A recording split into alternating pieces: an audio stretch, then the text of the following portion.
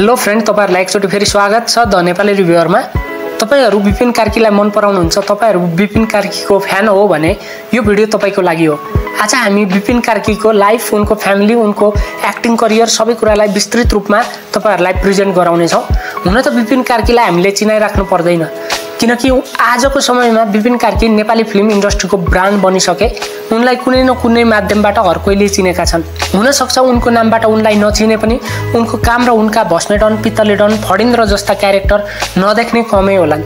उनको जन्म उन्नाइस सय बयासी अगस्त एक्काइसमा मोरङको बाहुनी भन्ने ठाउँमा भएको थियो। Bipin Karki first time Nepali film इन्डस्ट्रीमा निश्चल बस्नेतको मुभी लुटमा दुई हजार बाह्रमा एउटा ग्याङस्टारको रोलमा देखिए। विपिन कार्की नेपाली फिल्म इन्डस्ट्रीमा सानोतिनो रोल प्ले गर्दै मेन भिलनको रोलमा देखा पर्दै अहिलेको समयमा मेन लिड हिरोको रूपमा हामी उनलाई देख्न सक्छौँ।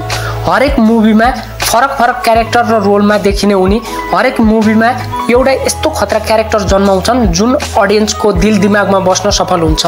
उनी मुभीको क्यारेक्टरमा यति मजाले डुब्छन् नि उनका हरेक फिल्म रिलिज भएको भोलिपल्टदेखि उनलाई उनको नामले भन्दा त्यो मुभीको क्यारेक्टरको माध्यमबाट अडियन्सले उनलाई चिन्छन्।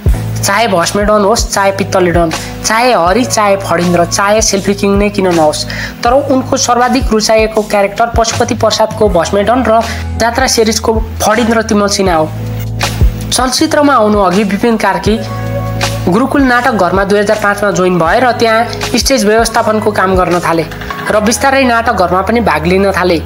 विपिन कार्कीले साथीसँग मिलेर धेरै स्टेज सोहरू गरेका छन्।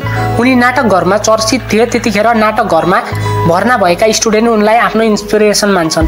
दुई हजार बाह्रमा लुट मुभीमा देखेका उनी दुई हजार तेह्रमा छड्के मुभीमा लिड रोलमा बिन्दु नामको क्यारेक्टरको रूपमा नेगेटिभ रोलमा देखिए। उनले यो मुभीबाट एप्रिसिएसन पाए। उनलाई अडियन्सले अलिअलि चिन्न थाले। उनी दुई हजार चौधमा सुन्तली भन्ने मुभीमा देखिए। समय आयो दुई हजार सोह्र। जुन वर्ष विपिन कार्कीको लागि टर्निङ पोइन्ट साबित भयो। यो वर्ष पशुपति प्रसाद मुभी रिलिज भयो जहाँ भस्मेडन नामको स्वर खासिएको क्यारेक्टर अडियन्सले यति रुचाए। यो क्यारेक्टरलाई अडियन्सले आज नै रुचाउँछन्। जुन हरेक अडियन्सको मन मस्तिष्कमा बस्न सफल छ। भन्ने गरिन्छ पशुपति प्रसादको सुटिङको समय। उनले यति मजाले रोल प्ले गरेका थिए। त्यतिखेर पशुपतिको वरपर बस्ने केटाहरू विपिन कार्कीसँग यति मिल्थे रे उनीहरूलाई सुटिङ हुँदैछ भन्ने कुरा नै थाहा थिएन रे। र मुभीको मेन हिरो खगेन्द्र लामिछानेलाई पिटिदिउँ दाई त्यो तपाईँसँग लास्ट हिरो बनिरहेछ भन्थे रे। यो मुभीको ह्युज सक्सेसपछि विपिन कार्कीले पछाडि फर्केर हेर्नु परेन।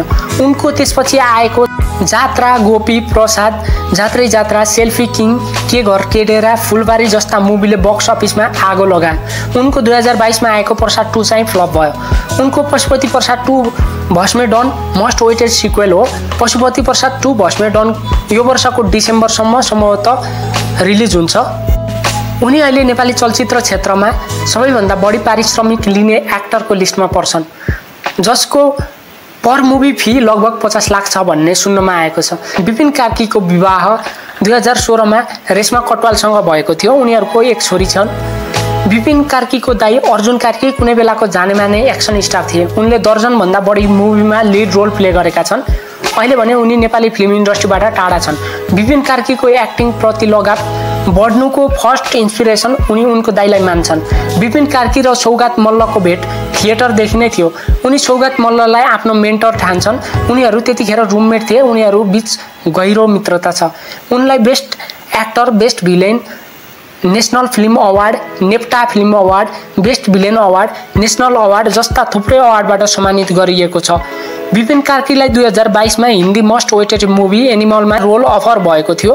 तर एनिमलका मेकरको ढिला सुस्ती र विपिन कार्कीको बिजी सेड्युलको कारण यो मुभीबाट उनी बाहिरिए विपिन कार्की नेपाली फिल्म इन्डस्ट्रीको एउटा सितारा हो। विपिन कार्की नेपाली फिल्म इन्डस्ट्रीमा नआइदिएको भए हरेक मुभीको क्यारेक्टरमा रिभोल्युसन आउँदैन थियो। आउँदैन थियो होला। भस्मेडन पित्तलेडन फडिन्द्र तिमल सिन्हा जस्ता क्यारेक्टरहरू सम्भवतः जन्मदैन थियो होला। उनको मुभीप्रतिको डेडिकेसनलाई हेड्सअप छ। फ्रेन्ड्स आजलाई यति नै। तपाईँहरूलाई मेरो रिभ्यू कस्तो लागिरहेछ सल्लाह सुझाव दिनुहोला। र च्यानलमा नयाँ हुनुहुन्छ भने subscribe my channel bye bye take care